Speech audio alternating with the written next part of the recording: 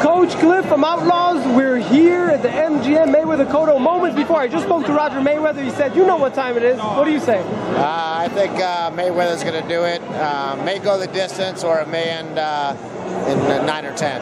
Man, what's the vibe like here in Vegas? You've been in a lot of big fights. Uh, I think it's exciting. I think uh, people are for it. Is going to bring it. He's going to bring everything he's got, and uh, I think Mayweather's going to be too much for him. But uh, Cotto's a hero in my eyes. Uh, the way he's conducted himself lately. So, does he have a chance?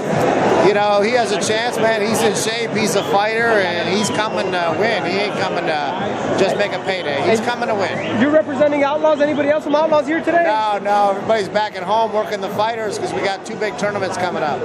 There you have it, Coach Cliff, right here at the MGM in Vegas, moments before Mayweather Cotto. It's going to be fireworks. ESNewsReporting.com. I'm Elie Seckbach reporting, and you can follow me on Twitter at Seckbach.